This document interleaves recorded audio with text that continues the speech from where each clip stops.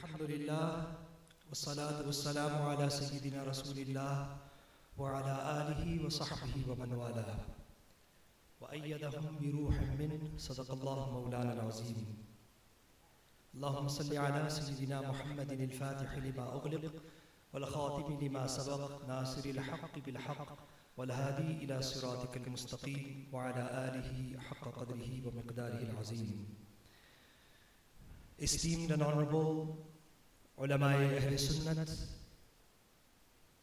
my honorable Murshid, my teacher, my honorable father, Sayyidi wa Sanadi wa Murshidi Hafidahullah Ta'ala, His Eminence, Huzur Mufakkir Islam, Khatib al-Asr, Ustaz al-Ulama, Hazrat Allama Qamar Zama Khan Azami Sahib, esteemed and respectable Ustaz al-Ulama, Hazrat Allama, Mufti Shamsul Huda Misbahi Shareh Muatta Sahib, and various esteemed ulama of the Ahl Sunnati wal Jama'ah from the United Kingdom in particular, our honorable and esteemed Ustad of Asatida, Maulana Shaykh Muhammad Asrar, Hafizahullah Ta'ala, and respectable audience, my dear brothers, mothers and sisters, youth and youngsters in Islam, Assalamu alaikum wa rahmatullahi wa barakatuh.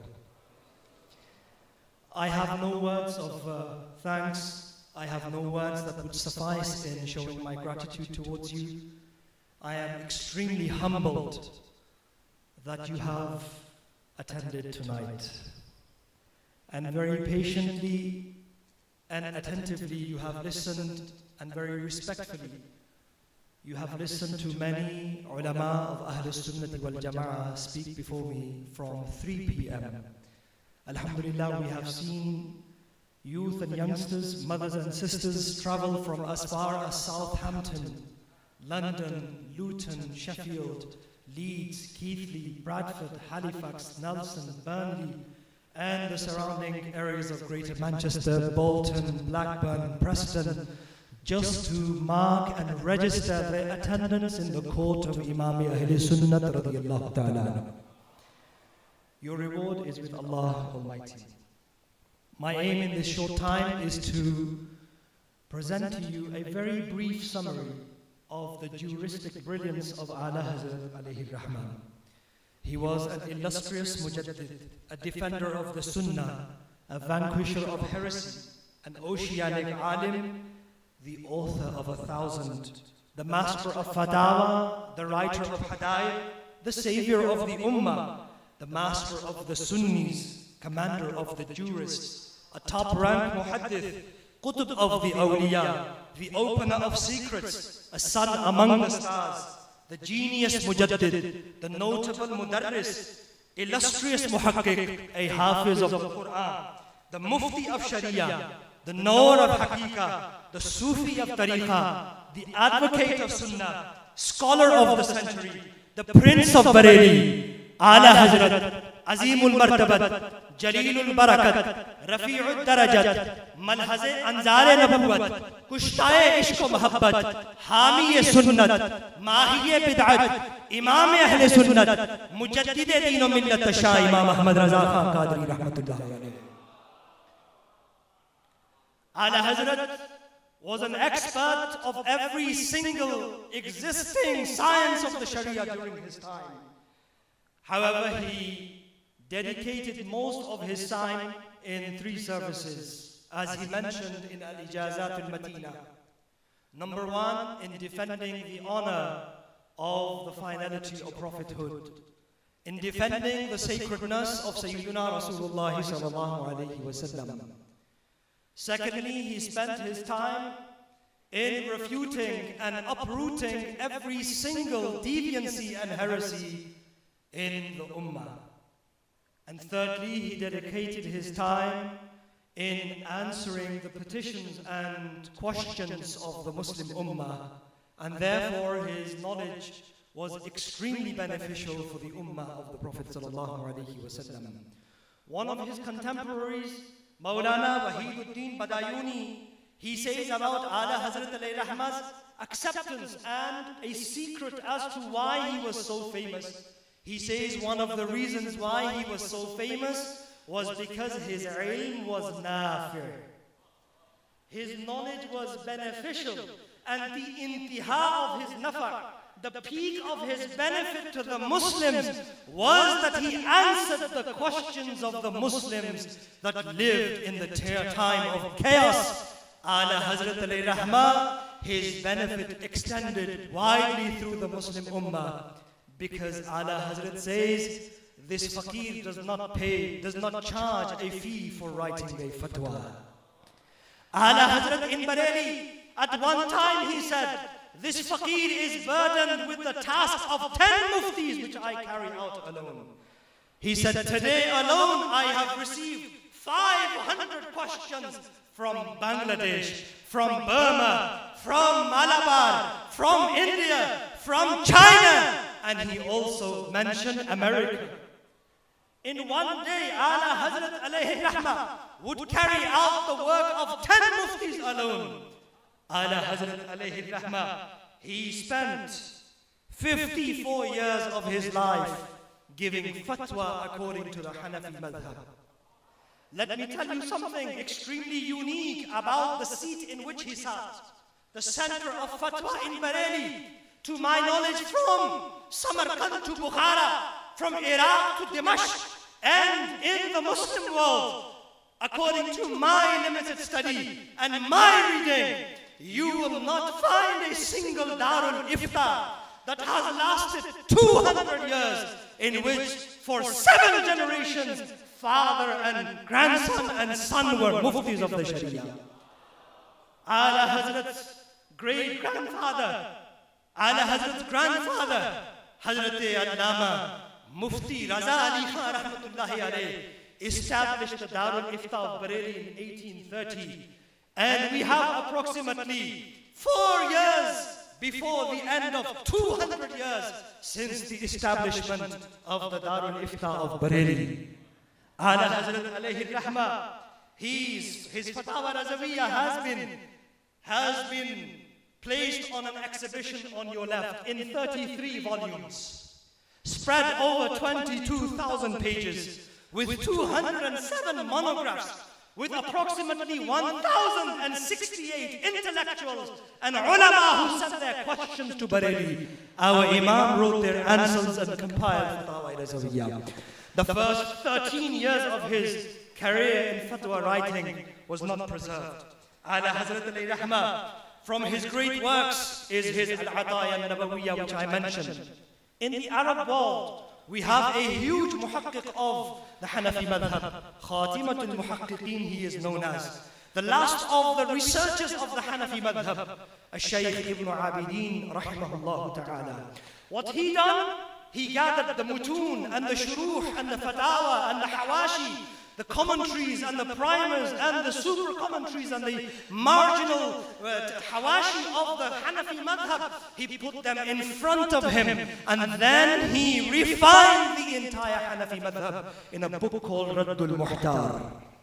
This is why he's known as Khatimatul Muhaqqiqeen because he gathered the madhab and refined it in Raddul Muhtar.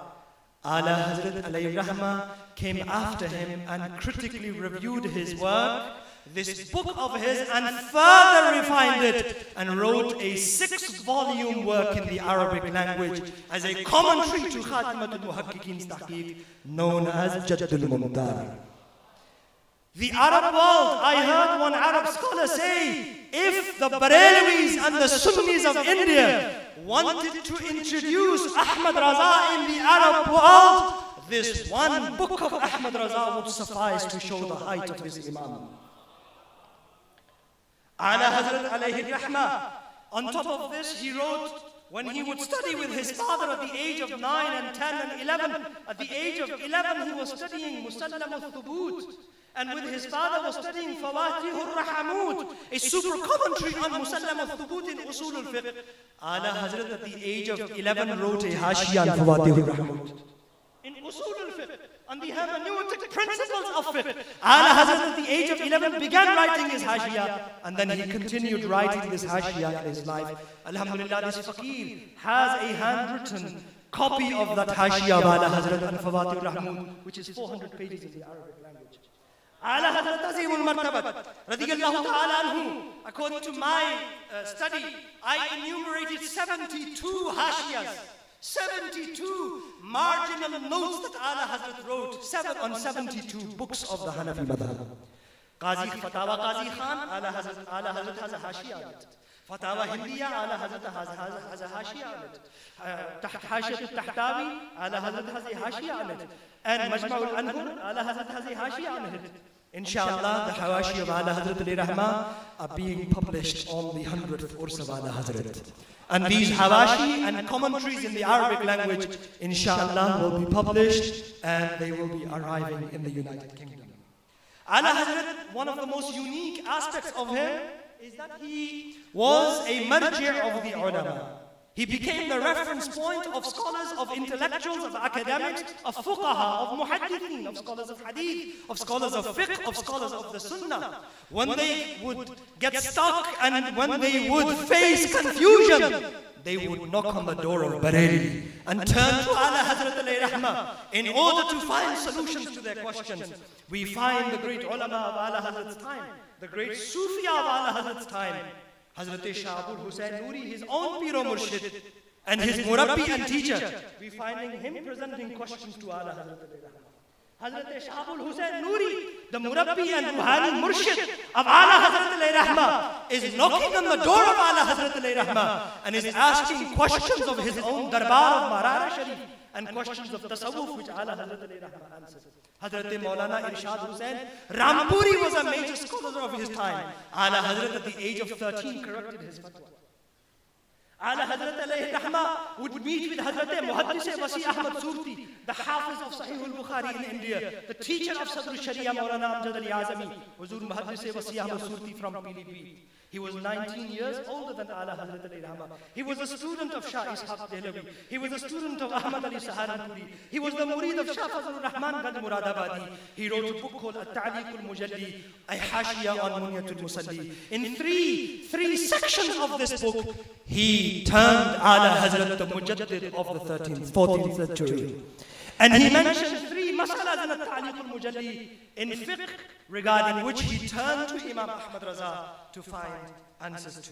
Ala Hazrat Ali Rahma, we find that great chief justices and jurists and judges of their time would go to Bareilly asking their questions. I read in a uh, biography of Ala Hazrat Ali Rahma, the Chief Justice Qazi Bahauddin, Qazi Muhammad Din, the Chief Justice of Bahawalpur High Court. He once had a question regarding inheritance. And he sent this question to seven different Darul Iftars of India, including Deoband and Saharanpur. But the Chief Justice of Bahawalpur was not satisfied with the seven answers and fatwas he received because they were contradictory. So he sent all seven fatwas to Bareilly. A Chief Justice of a High Court in Bahawalpur Qazi Muhammad Din, he sends seven fatwas to Ala Hazrat Rahma, this master of fiqh in Bareilly, the commander of jurists in Bareilly, the producer of muftis and the teacher of muftis, the trainer of muftis. Ala Hazrat Azimul Martabat, he pointed out 124 mistakes in those fatwas. 124 mistakes in those fatwas of Miras. Huzur Muhaddis Azam Khachochwi, Sayyid Muhammad Muhaddis Khachochwi Rahmatullahi alayh. He says once Allah Hazrat gave me a fatwa on munasakha. And the masala was so difficult that it had a masala, the masala of munasakha is a masala in which somebody passes away before the inheritance is dis distributed.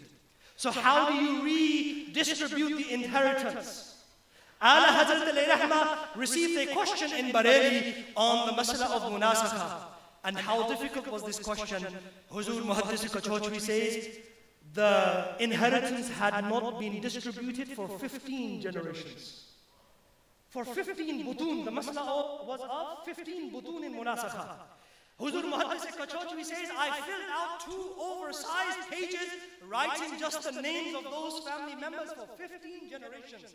And he said, I spent two and a half days trying to calculate the shares and correct portions of each of the heirs. He said, but I was left confused after two and a half days of trying to solve this masala. I came to Imam Ahmad Raza and I mentioned all of the masala that I had written. Ala Hazrat said, now put your pen down and listen. In the first generation, this person is owed this much. In the second generation, this person is owed this much. In the third generation, by memory, Ala Hazrat mentioned every single person's inheritance that was that he was entitled to.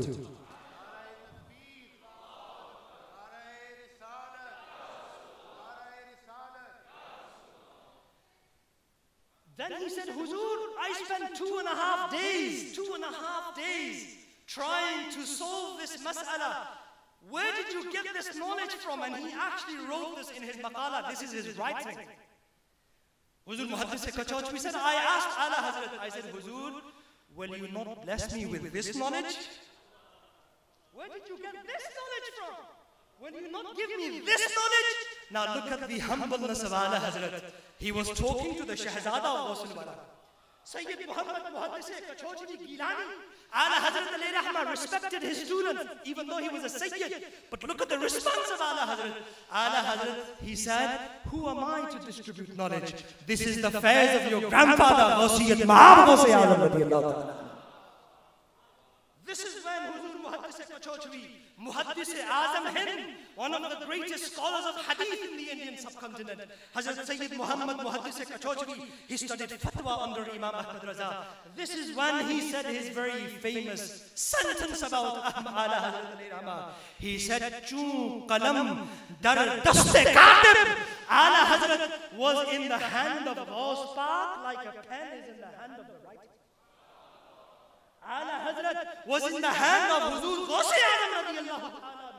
The way a pen is held by the one who writes with it. Ala Hazrat alayhi rahma, he left great works. As most of you know, Alhamdulillah, this fakir is occupied in the fifth year of my PhD. And in my PhD, I am looking at some of the qawa'id which Ala Hazrat alayhi rahma formulated. From the research, if you can put up the first chart, inshallah, I want to share some research with you that I found in my, uh, that I discovered in the Fatawa wa ala Hazrat Rahman and I managed to collate it. In the Hanafi madhab, we find that ala Hazrat Rahman, he filled a huge gap, a huge gap in reclassifying the terms of the ahkam of the moral laws. Ala Hazrat Rahman is the first jurist that gave the most accurate and precise definitions to the word makruh tanzihi to the word khilaf to the word isa'at. These words from the ahkam shari'ah and he contrasted all terms of the ahkam shari'ah and accurately presented their definitions. On top of that, Ala Hazrat Ali Rahma, and he divided them into 11 categories.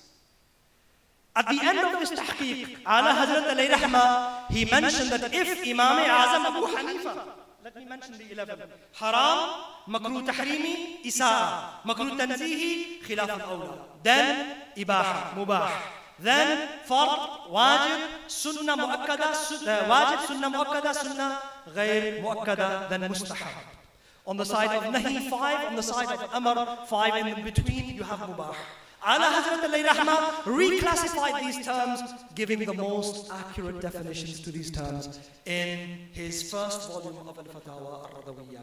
At the end of this reclassification and re, uh, refinement of the terms of the Hanafi madhab, Ala Hazrat Ali Rahma said, if Imam Azam Abu Hanifa saw this today, he wrote this himself. He said, if Imam Azam Abu Hanifa saw this research of mine today, he would have said, ye itre mazhab hai. He would have said this is the scent and fragrance of the Hanafi madhab. Ala Hazrat alayhi. Then he mentioned every single possible daleel, every single evidence that is required for each one of these ahkam. And then he divided the dalail shari'ah. The fuqaha used to divide before him, would divide all of the fuqaha. You find up to Ibn Nujaym and Ibn Abidin, all of them, the great fuqaha, you find them dividing the proofs of the Sharia into four categories. Qat'iyyu thubut, qat'iyyu dalala, wanyu subut, dalala. Ala Hazrat Rahmah came along and extended these proofs of the Sharia to 27. Alhamdulillah, this faqir in this long chart, I have gathered all of this research of Ala Hazrat in one A3 chart, showing every single dalil that is required in contrast with the hukm sharia. Ala Hazrat this is from his ijtihadat in the Hanafi madhab according to the qawaid of the, the rules of the madhab. This is one of his works which shows that he was in the six ranks of fuqaha. He belonged to the third category. He belonged to the mujtahideen fil masail. He was able to extrapolate ahkam and formulate rules and give judgments on matters on which there was no judgment in the Hanafi madhab. Ala Hazrat Rahma, if you open the second file, Ala Hazrat Rahma wrote another book and I found this to be one of the most fascinating books that I came across in the Fatawa Razawiya. Very small in size, but very deep in knowledge. This book is called Khairul Amal fil Kasbi wa Su'al. Ala Hazrat Rahma was asked about means and ends, and this in the modern world is known as Fiqh al-Maqasid or Fiqh al-Ma'al.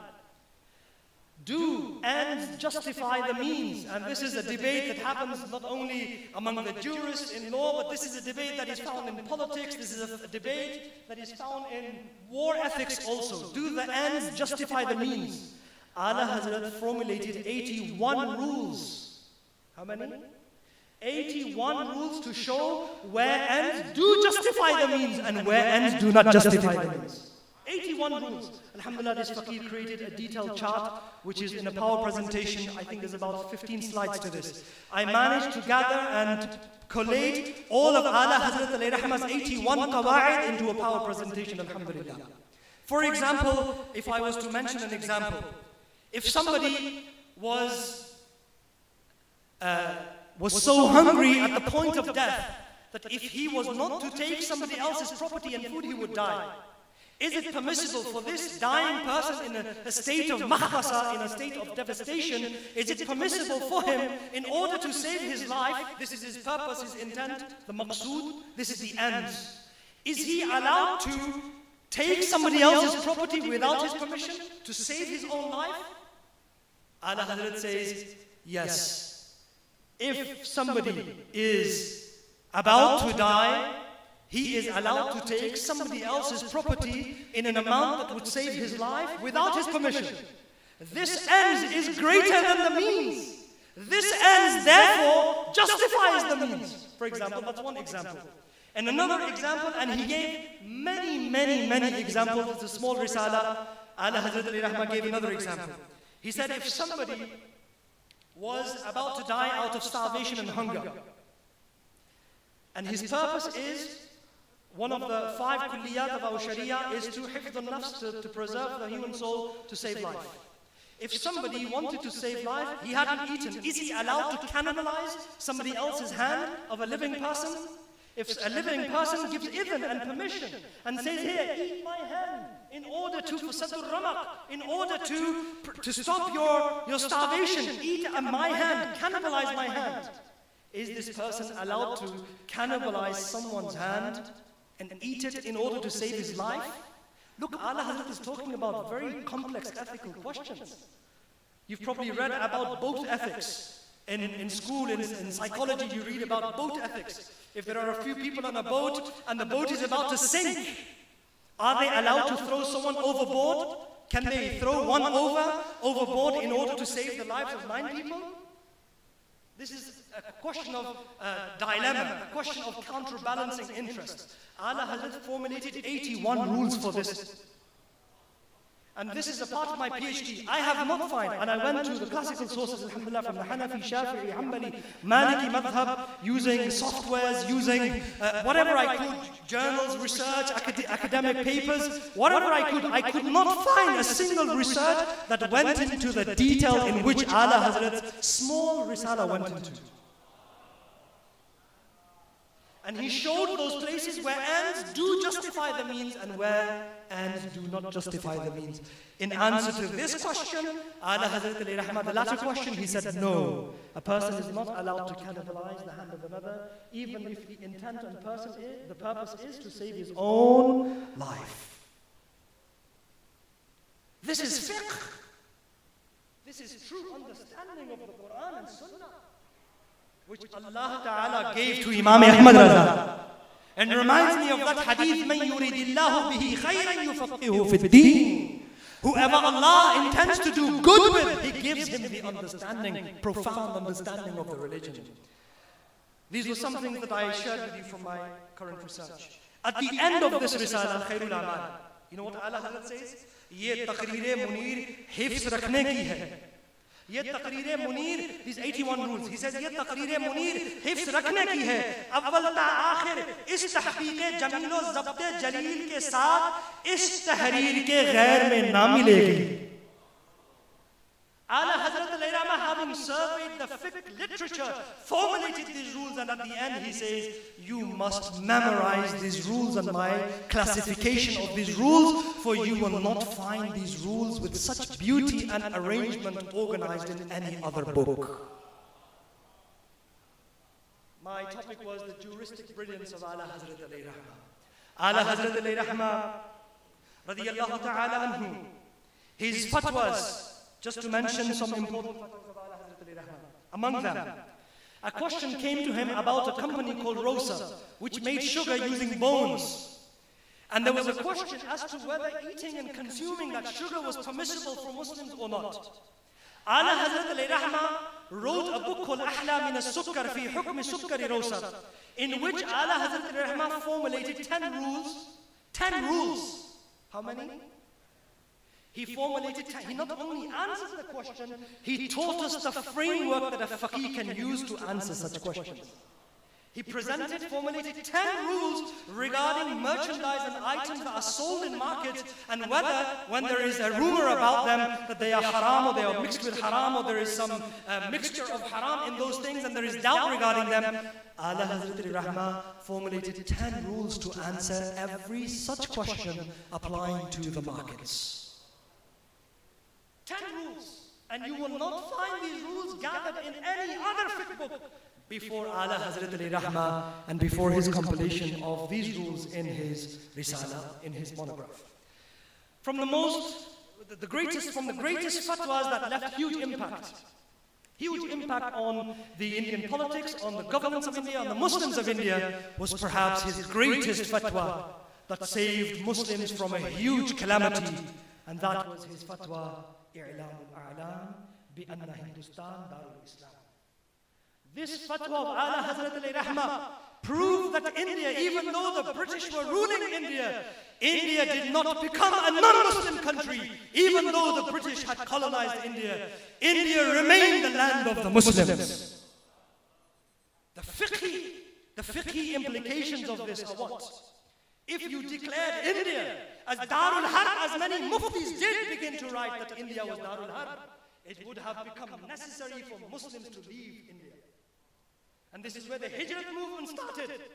The Hijrat movement, and we find thousands of Muslims that tried to leave India and then they were left at the borders, as Hazrat Allama Sahib inshallah will explain. This is from the Tajdeedi works of Ala Hazrat, this Risala of Allah he saved the Muslims in India and he told them that migration is not fard on you. You must remain in India. Continue your azan in your masjid. Continue your prayers in the masjid. Continue your qurbanis in your cities. Inshallah, India is the country of the Muslims. Among his fatwa also, Ala Hazrat Ali Rahma's fatwa, and I can give many examples, but I would like to finish. MashaAllah, I would like to commend and thank every single speaker present for being punctual.